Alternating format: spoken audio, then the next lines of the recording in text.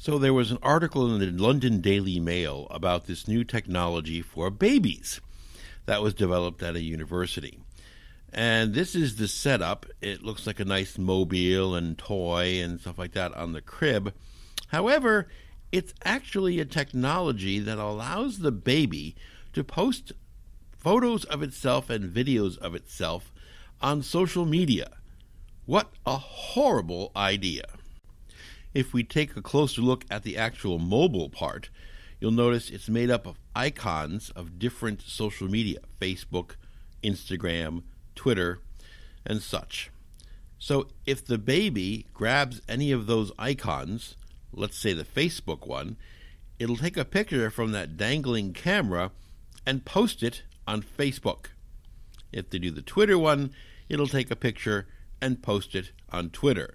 I mean, this is not good at all. So, in addition to the mobile, there are two other items here.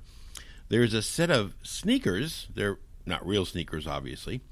But what they do is they gauge the baby's kicks and measure those so you know how many times your baby kicks during the night. And also, there's a toy that hangs on the crib, looks a little mirror and a ball. Every time they rotate the ball, it takes a picture and posts it on social media.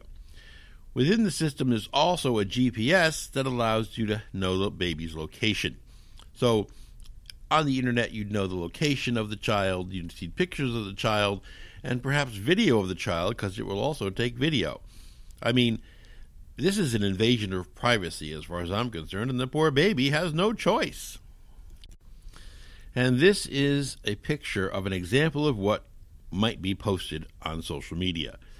This is a picture of a baby uh, I guess the baby touched the ball or grabbed one of the icons or something, and it took a picture and automatically posted it on social media. So, you know, usually Tech Dive TV has, you know, diving into tech that's good for your life and useful to you. But this is bad baby tech.